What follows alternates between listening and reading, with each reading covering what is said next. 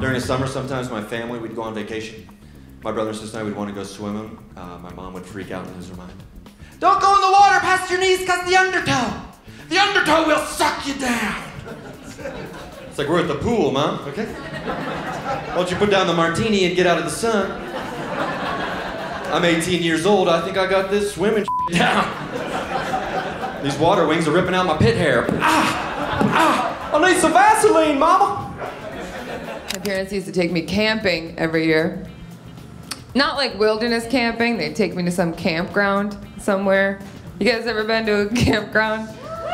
Right? Yeah, yeah. It's basically a bunch of people who don't live in a trailer park, yet like to vacation there.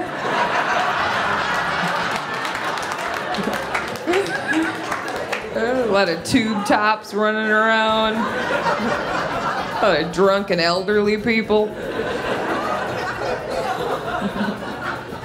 I just tried to fit in. That's what I did. I just tried to fit in. I just kind of hung out with everybody else in some lot somewhere, right? Like, what?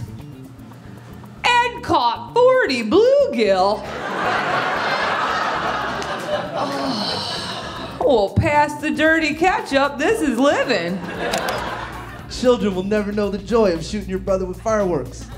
We, yeah, we used to get them, what, every New Year's Eve and July 4th? And you didn't use them like you were supposed to. You it's stupid to just go put them in the street and light the fuse and run away. That's dumb. You wait two months till people forget you have them.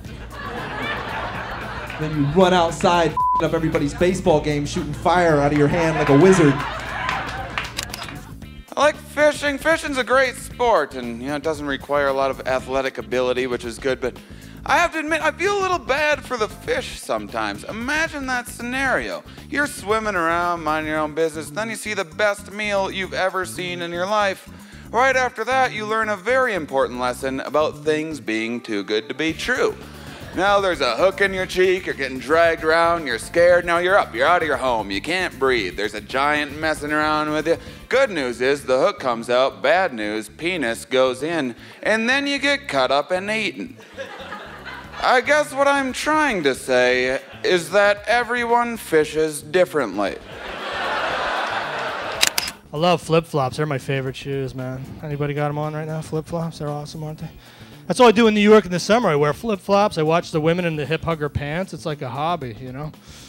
Although I gotta admit, some women should not be wearing the hip hugger pants. Sorry, little public service announcement right there. It's sort of like when you see a fat guy with that thin little beard that goes right around his jawline. You know what I'm talking about? Sort of says, This is where my face used to end, you know, that guy.